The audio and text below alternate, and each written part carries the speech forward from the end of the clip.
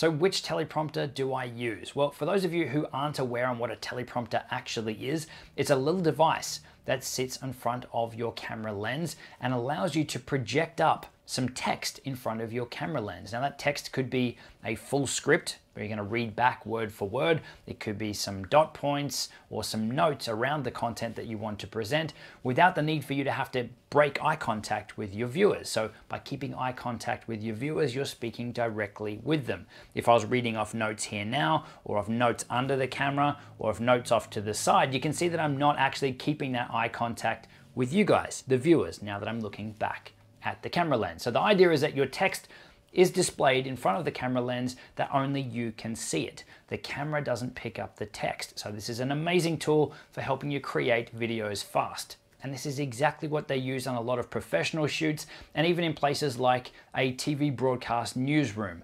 The news presenters are reading from a teleprompter sitting in front of the camera so that they don't need to memorize scripts. They literally just read out whatever is written on the teleprompter. So I'm a big fan of teleprompters because they allow you to create your videos so much faster because there's no thinking about what you're going to say in front of the camera. You can do that beforehand and make sure that it's short, sharp, concise, or at least have the dot points of all the things you want to cover off in your videos. So which teleprompter do I use and recommend? Well, my current go-to is the Parrot teleprompter, the V2. This is it here, and it literally just clips on the front of your camera. So you see it just slides on here and this is it. You then mount your phone down the bottom here and it will project up onto that glass there so that only you can see it. So this is the teleprompter that I like. It's small, it's light. I don't need to have a separate tripod or anything for it. It doesn't make the camera too much bigger than it was before without it on there.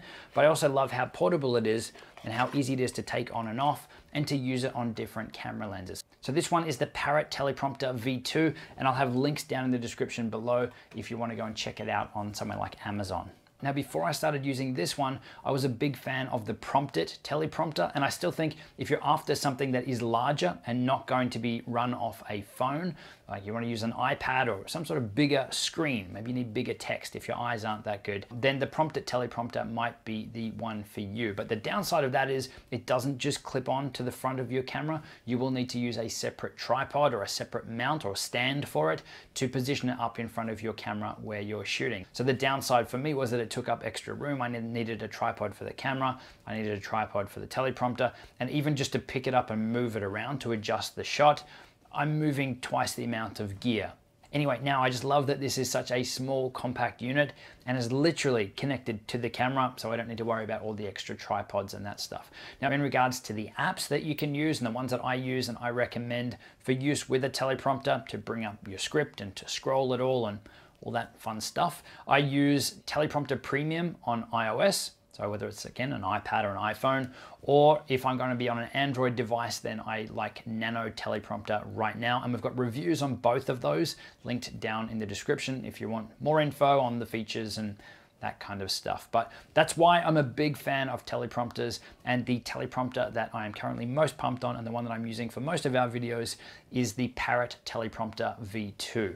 So if you're serious about creating videos and you want to be able to make them faster without thinking in front of the camera, then teleprompter could be the perfect tool for you. For me, it's sped up everything, not just the filming, but the flow on from that into the editing.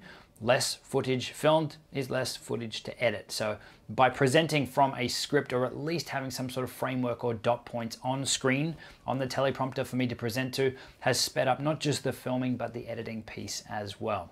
So thanks very much for sending through the question. And if you've got a question that you would like me to potentially answer in a video like this, then post it below in the comments on this video and we'll go through and review them. And who knows, you might get selected and have your question answered in a video like this. I'll see you in the next one.